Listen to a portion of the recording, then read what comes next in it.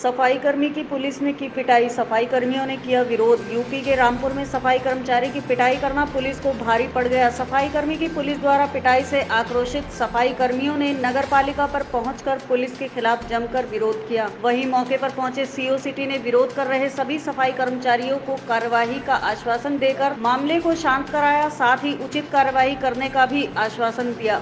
ये नगर पालिका पिटाई का मामला। नए लड़के हैं कॉलेज की लड़की कोरोना के संबंध में नगर प्रचार करने आए थे उन्हीं में एक लड़का था जिसने कि उसके पुलिस किसी के कहने से एक दो डंडे मार दिए थे।